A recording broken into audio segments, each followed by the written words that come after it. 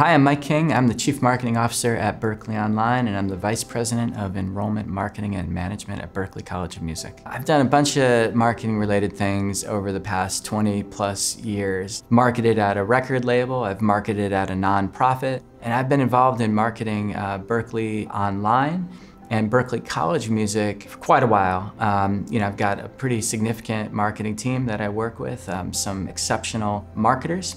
And this course really leverages what I've done over the past 20 years in marketing and is a top to bottom look at how you organize a marketing team, how you execute on campaigns, how you can leverage analytics, what your go-to-market strategy is, how to organize and run a sales team.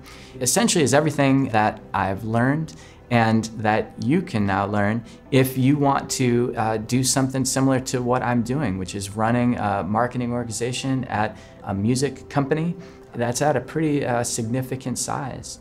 I've got some amazing experts that are part of this course. Everybody from Christopher O'Donnell, who's a senior executive at HubSpot, Dave Balter, a serial entrepreneur and everything that he's done, Kevin Breuner, who's the VP of marketing for CD Baby, ton of other folks. So you're gonna be learning from me, everything that I know. You're gonna be learning from these really killer senior marketing geniuses.